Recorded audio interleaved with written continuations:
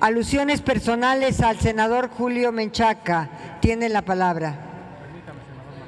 Es procedente. Permítame un momento, senador Martínez. Un momento nada más.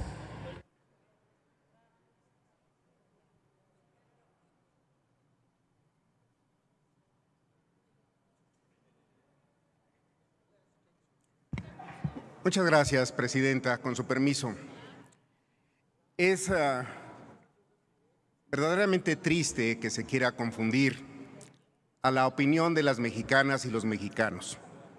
En el Senado de la República nos hemos esforzado por cumplir precisamente lo que dice la Constitución. Podrán algunos de ustedes no estar de acuerdo, pero precisamente nuestro trabajo consiste en hacer las modificaciones que la sociedad exige. Podremos no estar de acuerdo, pero la ofensa, el estar haciendo una crítica que solamente destruye y merma la confianza de la ciudadanía en las instituciones, contribuye a ese ambiente de crispación.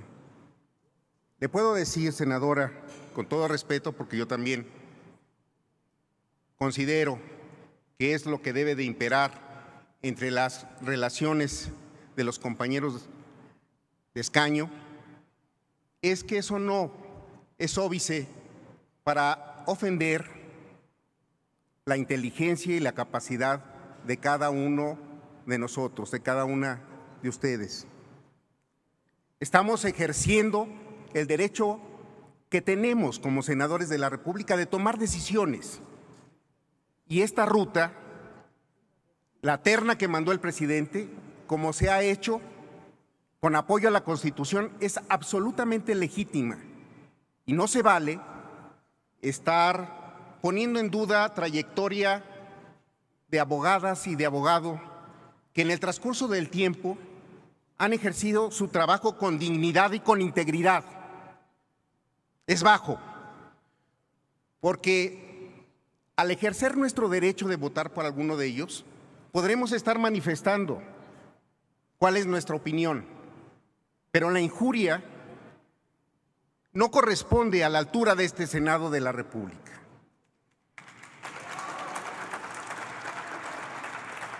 La injuria corresponde a la bajeza de calificación de quien la emite. Es comprensible no estar de acuerdo con una opinión o con un trabajo que no es de una persona, es de una comisión integrada por distintos grupos parlamentarios, con las reglas del juego que establece la ley, con la transparencia que ofrece el canal del Congreso. Gracias, las plataformas digitales.